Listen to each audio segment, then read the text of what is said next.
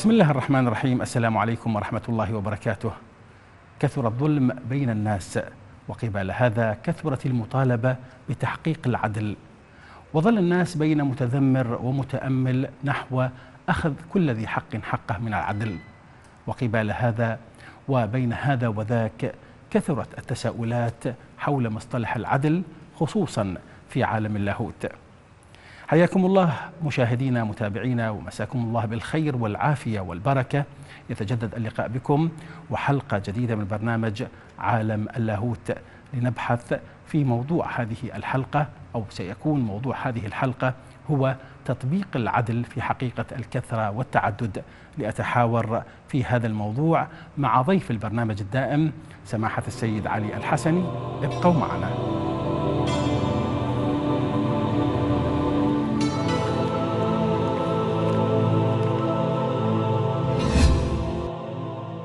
روي عن الإمام علي بن موسى الرضا عليه السلام. إن الأنبياء والأوصياء صلوات الله عليهم يوفقهم الله ويسددهم ويؤتيهم من مخزون علمه وحكمته ما لا يؤتيه غيرهم. يكون علمهم فوق علم أهل زمانهم. وقد قال الله جل وعز أفمن يهدي إلى الحق أحق أن يتبع؟ امن لا يهدي إلا أن يهدى فما لكم كيف تحكمون؟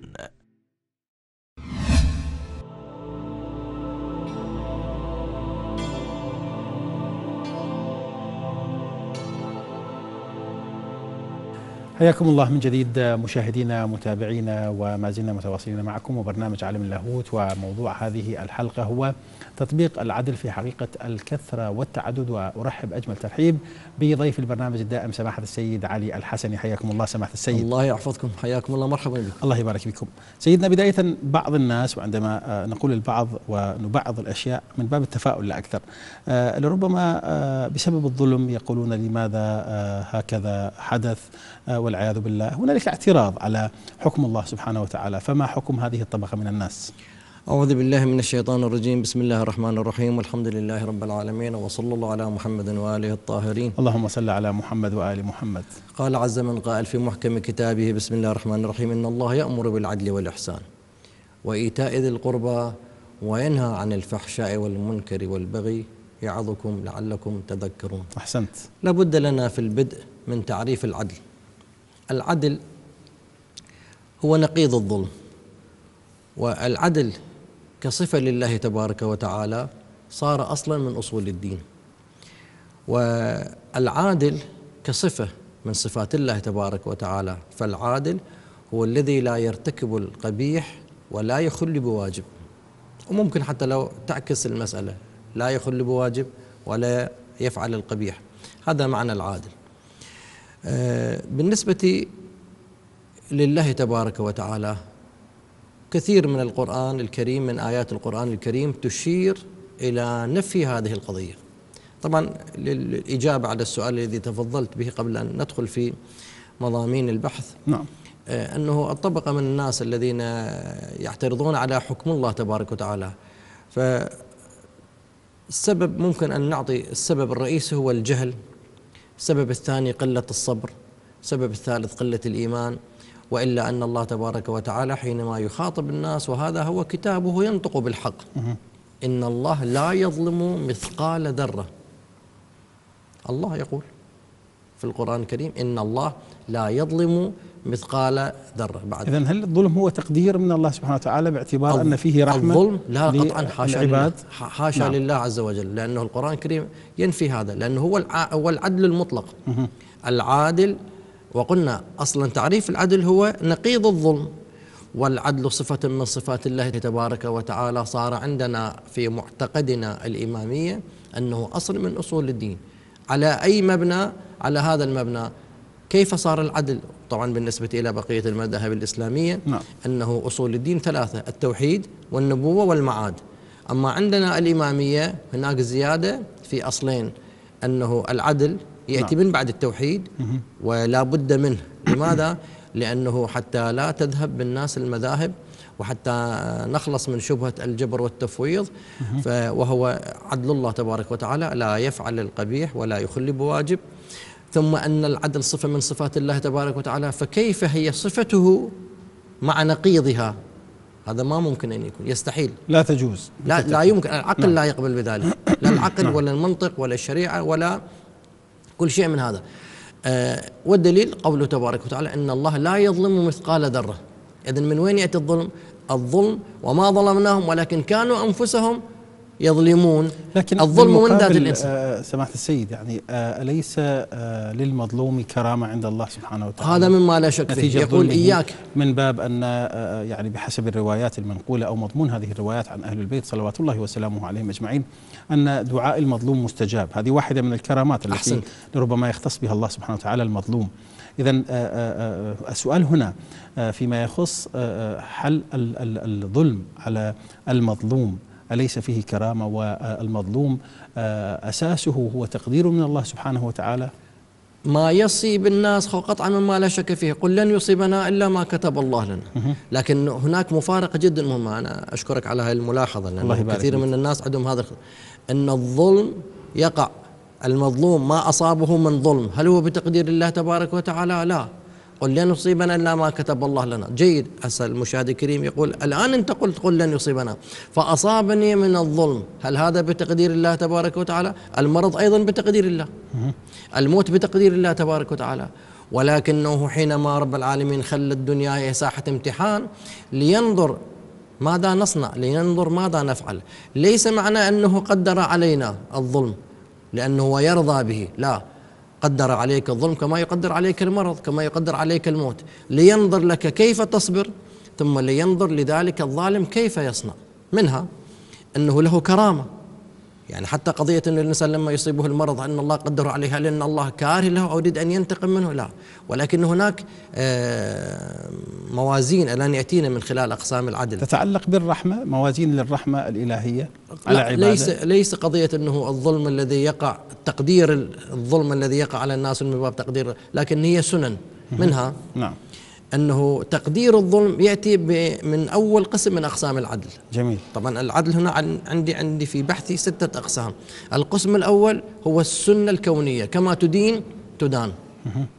منها مثلا لا تتركوا الأمر بالمعروف والنهي عن المنكر فيولى عليكم شراركم. فالشرار شرار الخلق إذا تولوا رقاب الناس ماذا يصنعون؟ يعدلون يحسنون أم يظلمون؟ بكل تأكيد يظلمون. نعم. إذا لاحظ هذا من هذا الجانب. ليس أن الله عز وجل حينما يقدر على المظلوم ما قدر أنه يريد أن يتضرر. هذا له إذا المسألة تتعلق بالمقدمات هنا. بالمقدمات. نعم. أحسن. بتعبير وتعريف أوضح عند سيدة النساء فاطمة. سلام الله عليها. صلوات الله عليها قالت والعدل تنسيقا للقلوب.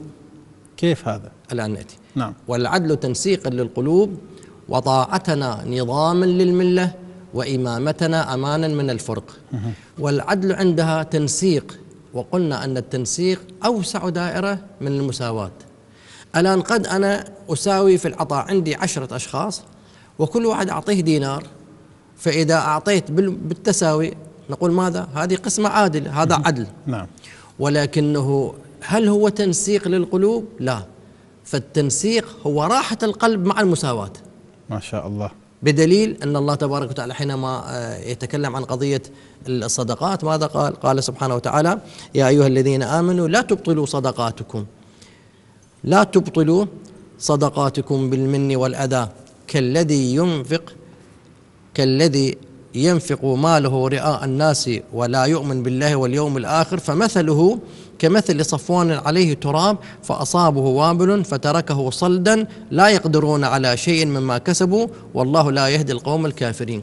فما قيمة أني أنا أدفع بالتساوي؟ ما قيمة المساواة مع عدم مع الذل؟ إذن العدل هنا في منظور الزهراء الرضا بالعدل. ليس آه، تحقيق العدل فقط. أحسنت الرضا بالعدل والرضا بالعدل كيف يتحقق؟ لا يتحقق الرضا بالعدل إلا أنك تطبق التنسيق والتنسيق هي راحة القلب. ما شاء الله. شوف إذا ربطت ربطت راحة القلب والراحة النفسية مع المساواة. وقلنا هذا المثال. الآن أنا أعطي عشرة كل واحد أعطيه دينار. ولكن اثنين منهم أنا أعطيتهم من بتمنن. هو أخذ دينار حالة حال البقية. ولكنه قلبه متألم مني. أنا أذليت أذل أذللته حينما أعطيت. لم تكن هنالك ما قسمة قلبية إذا ما في تنسيق. جميل. العدل الحقيقي وهو العدل الإلهي الذي عند سيدة النساء الذي عندها هو عدل الله عز وجل.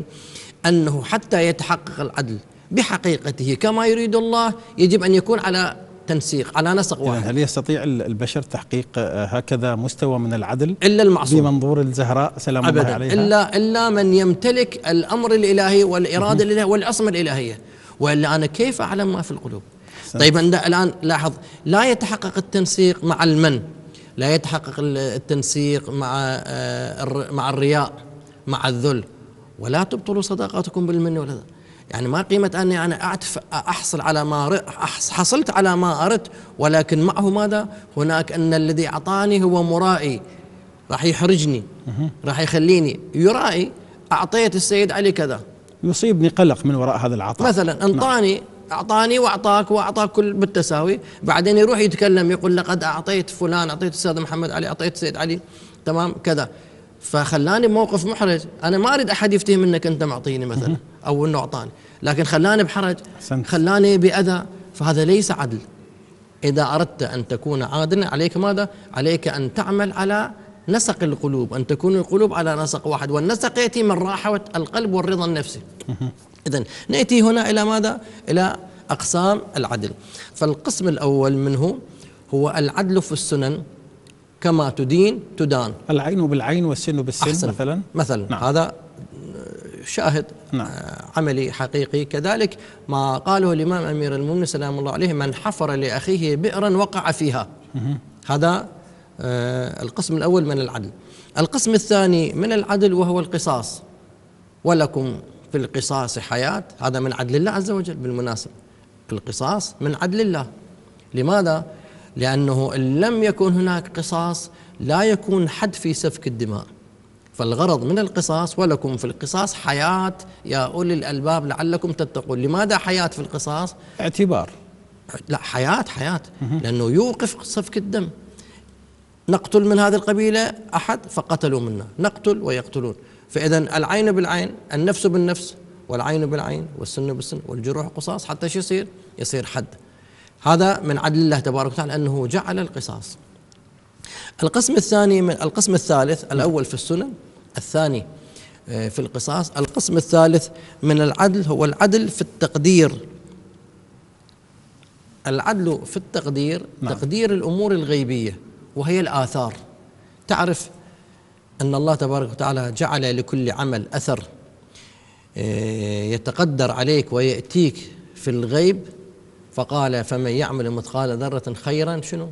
يرى. ليش مو يؤجر عليه؟ يرى هذا من عدل الله عز وجل. لكل فعل ردة فعل. كل عمل تقوم به سيترك أثره. والأثر هو من عدل الله تبارك وتعالى. ماذا تزرع؟ تحصد. الآثار الحسنة والآثار السيئة في الأعمال هي في الواقع ماذا؟ هي في الواقع من عدل الله تبارك هل ترى وتعالى. تحديدا في عالم الدنيا؟ في عالم الدنيا. يعني آه، على سبيل المثال آه، بعض الكبائر كعقوق الوالدين مثلا. أحسن. طبعا هو هل يعجل الله سبحانه وتعالى بردها في عالم الدنيا هذا هذا يأتي في القسم الأول. نعم. كما تدين تدان. في عالم الدنيا. في عالم الدنيا. نعم. وطبعا هذا إطلاق فيه. يعني فمن يعمل مثقال ذرة خيرا يره ومن يعمل مثقال ذرة شرا يره هذا إطلاق.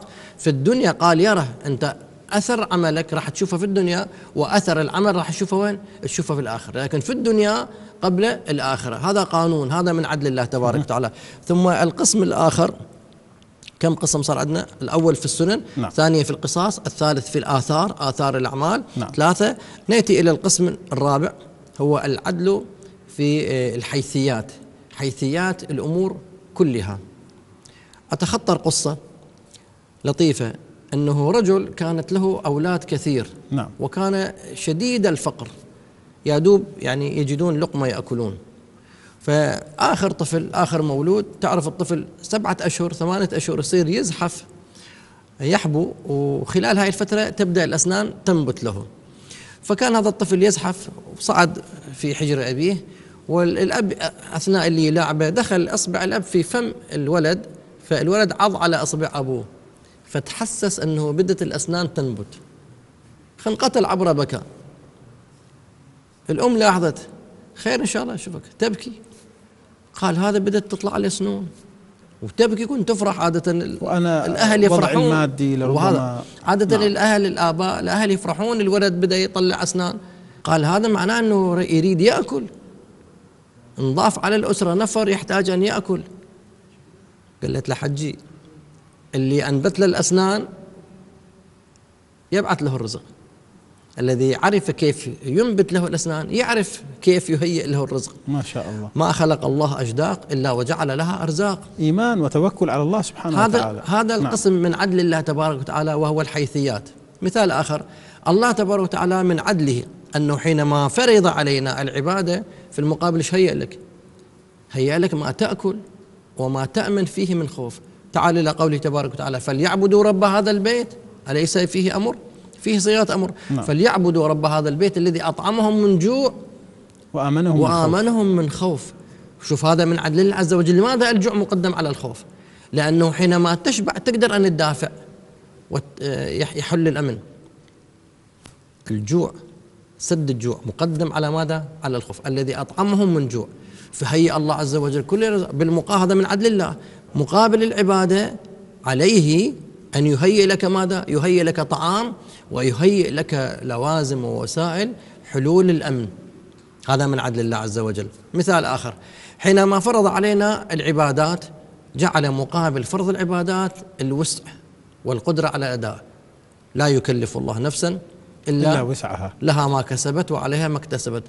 من لم يستطع الصيام بسبب المرض فعدة من أيام أخر. هذا من عدل الله عز وجل. ما تستطيع أن تقوم آه، تصلي من قيام صلي من جلوس. إذا آه، أصابك لا سمح الله أو أصاب أحد عاهة قطعت يده قطعت رجله فسقط عنه آه، الواجبات. فقالوا في الشريعة المباركة الشريعة المقدسة إذا أخذ الله ما وهب سقط ما وجب. ما شاء الله. هذا من عدل الله عز وجل. سنة. لا يكلف نفسا إلا وسعها. يعني من هذا كله طبعا في هذا القسم الرابع وهو العدل في الحيثيات. يعني آه، يريد من عندك آه، أن تصوم مقابل الصوم يعطيك ماذا؟ يعطيك صحة. فإذا أخذ الصحة منك سقط الصوم. يريد منك أن تصوم عليك أن تقيم. إذا سافرت سقط عنك الصوم. لماذا؟ لأنه السفر يسبب اضطراب. واحد يقول سابقا كان هذا جهل. عدم معرفة بالحقيقة يقول سابقا كان السفر على الجمال وتراب وتراب يدخل بالبلعوم ومشقة فسقط الصوم الآن أنا أسافر في الطائرة وأسافر في وأنا في تبريد وجو مرتاح كأنما جالس في غرفة نعم. فلماذا أفطر تساؤلات لربما تساؤلات من حاصلة نعم. نعم. فأقول هذا من عدل الله عز وجل أنه أسقط عنك الصوم في السفر لماذا؟ لأنه السفر يسبب اضطراب وقلق والله يريدك حينما تؤدي هذه العبادة تكون في حالة استقرار. باعتبار أنك ذاهب إلى جهة لربما قلق قلق. لم تستقر كل فيها مسافر هو قلق. مثل بيتك. نعم. قطعا كل مسافر هو في حالة اضطراب وقلق. في حين أن الله عز وجل يريد هذه العبادة أن تؤديها في حالة استقرار. فإذا الله تبارك وتعالى يريد منك أن أن تمشي فاسعوا في مناكبها. نعم. اسعوا في مناكبها وكلوا من رزقه يعطيك أقدام. أحسنتم.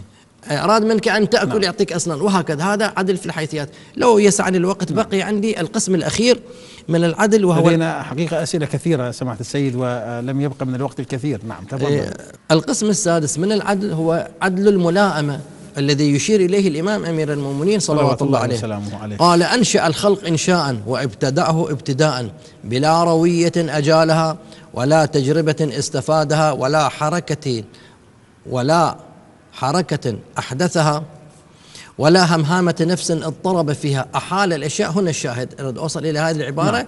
التي هي العدل في الملائمة. أحال الأشياء لأوقاتها ولا أم بين مختلفاتها وغرز غرائزها وألزمها أشباحها عالما بها قبل ابتدائها محيطا بحدودها وانتهائها عارفا بقرائنها وأحنائها ثم أنشأ سبحانه فتق الأجواء وشق الأرجاء وسكائك الهواء. جميل أحسنتم. سمعت السيد حقيقة آه، آه، وضحت هذه الأقسام الستة ستة للعدل. للعدل. أريد أن أسأل والإجابة باختصار لو سمحتم كيف هي الموازنة في العدل أمام الكثرة والتعدد في الخلق؟ نقف على القسمين الآخرين من العدل وهما العدل في الحيثيات والعدل في الملائمة. وللذي تأخذه الدهشة كيف هو العدل في هذه الكثرة من الخلق؟ كيف الله تبارك وتعالى يستطيع أن يكون عادلا مع كثرة الخلق؟ نقول له تأمل في العدل في الحيثيات وتأمل في العدل في الملائمة حتى أنه ما قرأنا النص الذي قرأناه للإمام أمير المؤمنين أنه حينما يريد أن يجري هواء يجعل له سكة. ما شاء هذا الهواء المتحرك له سكك يمشي فيها. إذا أردت أن تنظر كيف أن الله تبارك وتعالى هو عادل مع الكثرة ادخل في السوق. هذا السوق أي سوق؟ تجد أنه السوق سوق البقالين مثلا من أوله إلى آخره واحد إلى جنب الآخر واحد إلى جنب الآخر. الكل يبيع الثمار الكل يبيع الفاكهة. ولكن سبحان الله تشوف أنه الكل يأتيه رزقه والكل يبيع.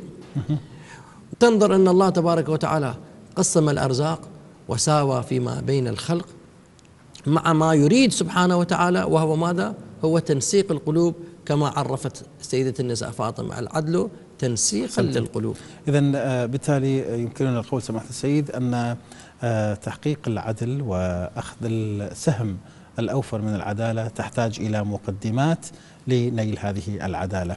سماحة صحيح. السيد علي الحسني الله. آه، نفعتمونا حقيقة. آه، بما قدمتموه من استعراض فيما يخص العدل وموضوع حلقتنا لهذا اليوم. شكرا لكم سماحة السيد علي الحسني الله لكم على. حضوركم وحقيقة المعلومات اللي قدمتوها لنا في هذه الحلقة. الله يحفظكم حياكم الله. مشاهدينا متابعينا ابقوا معنا بعد الفاصل. روي عن الإمام محمد بن علي الجواد عليه السلام. تأخير التوبة اغترار. وطول التسويف حيرة. والاعتلال على الله هلكة. والإصرار على الذنب أمن لمكر الله. ولا يأمن مكر الله إلا القوم الخاسرون. إذا مشاهدينا في ختام هذه الحلقة حري بنا أن نقول باعتقادنا أن العدل هو أصل متجذر من أصول الدين وأن الله سبحانه وتعالى وهو العدل لا يقصر بواجب ولا يفعل القبيح. إذا لا يريد بالظلم أن يعم بين الناس حتى يكون زادا دنيويا يجمع للآخرة. إلى هنا. وصلنا بكم إلى ختام حلقتنا مشاهدينا الأحبة من برنامج عالم اللاهوت. حتى ألقاكم في حلقة أخرى. أستودعكم الله. والسلام عليكم ورحمة الله وبركاته.